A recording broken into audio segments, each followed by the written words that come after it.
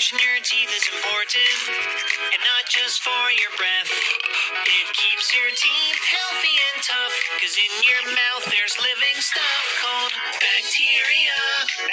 Mouthful. Just there hanging out all day.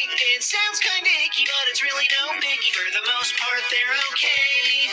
Now, when you eat, your food goes down, but some itty bits just stick around. And when bacteria digest it, it forms a sticky film. You guessed it, that's plaque. Fight back, you gotta brush away that plaque. You gotta fight back.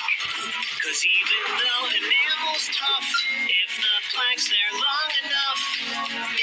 it wears the whole way through. They call that hole a cavity, and dentists all agree that's a bummer, dude. So here's what you gotta do: you gotta brush that plaque. You gotta fight back, so brush and floss your gums and